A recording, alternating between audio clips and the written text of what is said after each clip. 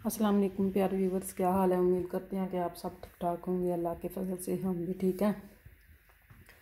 तो आज हम बनाने लगे थे चावलों की खीर मैंने काफ़ी देर पहले भिगो के रखे थे।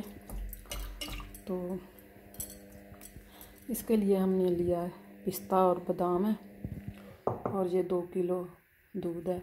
अगर और ज़रूरत पड़ी तो वो भी डाल लेंगे।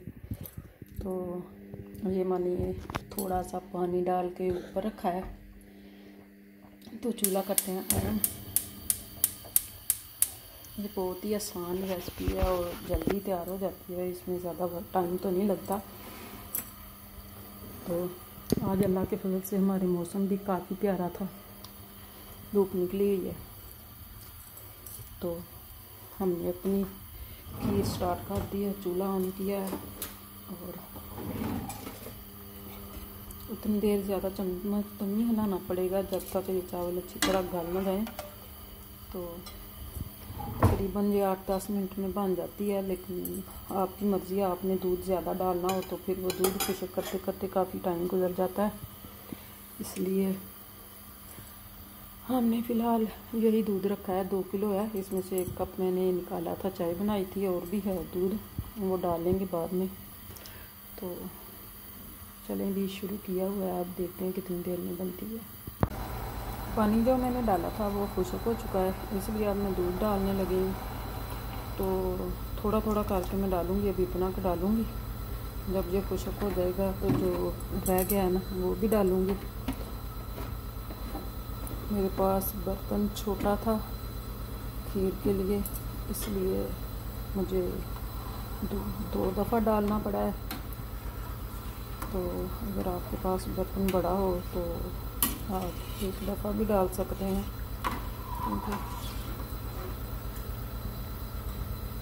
अभी ये दूध हमने खुशक करना है सारा। ये देखें, जो दूध रह गया था वो भी मैंने डाल दिया तो तकरीबन चावल ये देखें, यहाँ तक पहुँच चुके हैं तो बाद में ये मैंने पिस्ता और बादाम कूट के रखे हैं, ग्राइंड नहीं किए वो ज़्यादा ब्रीक हो जाते हैं फिर। तो अभी इसके पकने का इंतज़ार करते हैं। आज मैंने स्लो रखी हुई है, बड़ी आसान रेसिपी है। आप बना के देखें, मज़ेदार भी बहुत होती है, सेहत के लिए भी अच्छी होती है। ये देखें, वो वाला दूध खुशक हो चुका था तो ये मैंने दूसरी बोतल से भी थोड़ा सा डालने लगी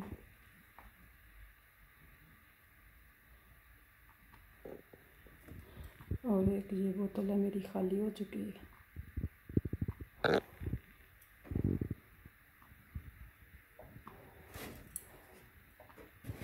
इसमें से मैंने वो वही उतना की डाला, उससे ज़्यादा ही डाला है।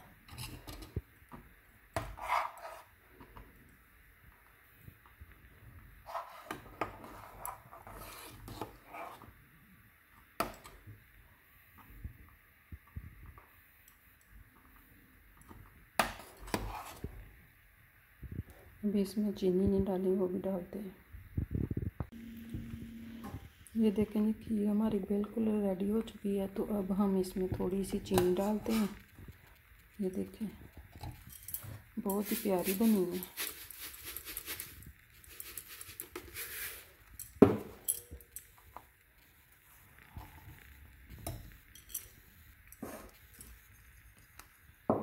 और ये पिस्ता और बादाम थे। वो भी मैंने इतने डाल दिए हैं, ये मैंने बाद में डालने हैं। तो अब इसको करते हैं मिक्स।